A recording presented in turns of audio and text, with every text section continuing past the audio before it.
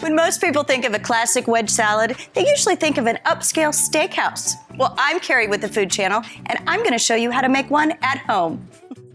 Steakhouse wedge salad. After cleaning and coring a large head of iceberg lettuce, you want to cut it in half and then halve it again. Wedging a head of lettuce helps to retain its texture and crunch, as well as allowing the dressing to float evenly between the lettuce leaves. Drizzle your favorite dressing over the top.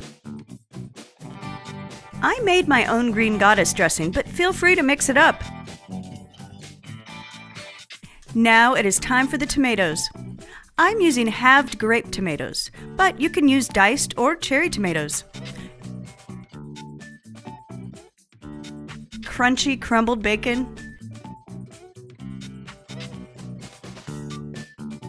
red onion slivers,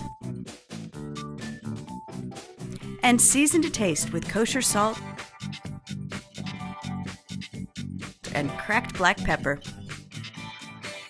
And there you have it an upscale classic in the comfort of your own home. Now get in the kitchen.